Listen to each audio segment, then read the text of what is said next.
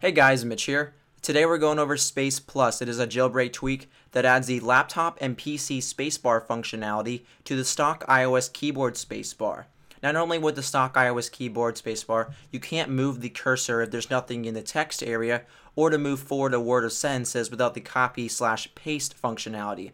Now with Space Plus, you will be allowed to use these features just like you would use on a laptop spacebar by long pressing the spacebar on your iOS keyboard, and then you can move the cursor or any other word or sentences that is in front of it over to the right. So as you can see here, this works with any application that uses the keyboard. So I'm in the Notes application, but it works exactly the same as in the Messages or if you would be searching on Google, for instance. So you can just hold down the space bar, it will move words that are in front of it.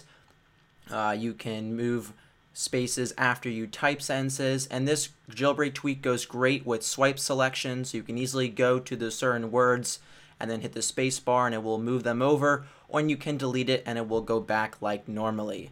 Now Space Plus is available in Cydia's Big Boss repo for 99 cents. Let me know what you guys think about Space Plus in the comments section below and I'll see you all in the next one. Peace.